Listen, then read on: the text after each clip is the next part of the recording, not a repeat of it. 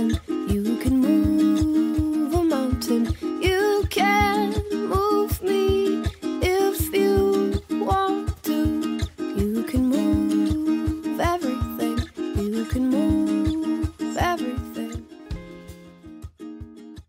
Having coached uh, lead conversion now within the mortgage industry and in other industries, uh, I can say that the internet consumer is identical. Um, it comes down to the process. They're looking for you, they've asked for information.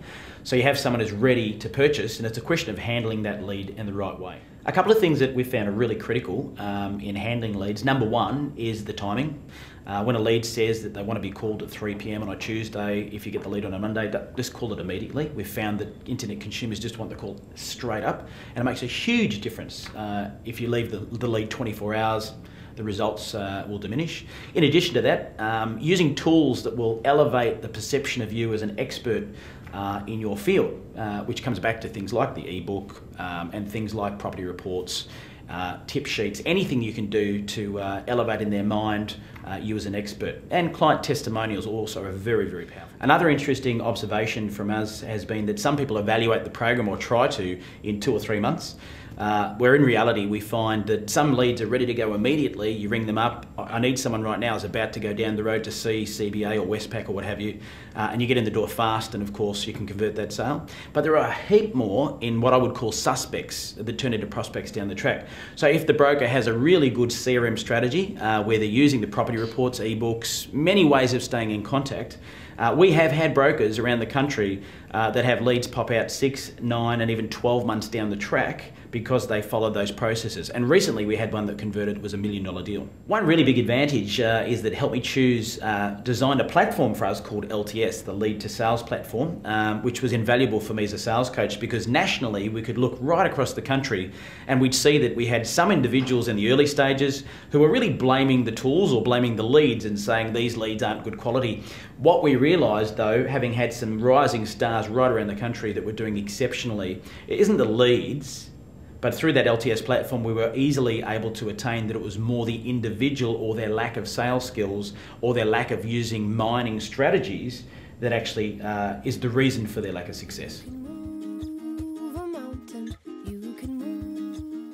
From my experience, there are three things that you need to do in handling a phone call with an internet lead.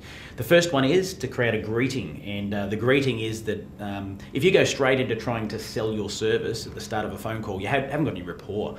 So, um, in making a phone call for any internet lead myself, it's usually uh, something relating to the traffic, the weather, what sort of town they're from you know anything that we can have a common bond on because if the customer's sort of you know laughing or giggling or uh, smiling with you uh, then you're with them. Then after you have the greeting, the qualifies the next phase where what are you looking for? Um, you know, what made you click on our site? Uh, which banks have you spoken to already? Is there anything specific you had in mind to show the customer that you really have their interest at heart?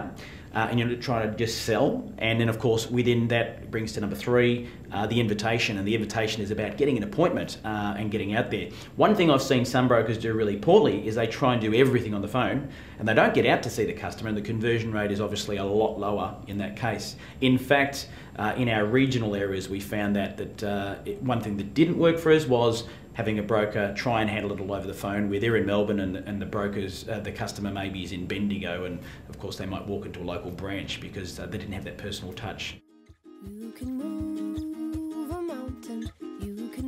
I think this is a perfect example of the innovation that we have in the industry. We're always coming up with new ideas or taking uh, leaps of faith, and uh, I think it's a credit to our CEO Ray Hare for having the faith and the vision to take on such a, uh, an innovative, different program uh, to support our brokers in uh, tougher times.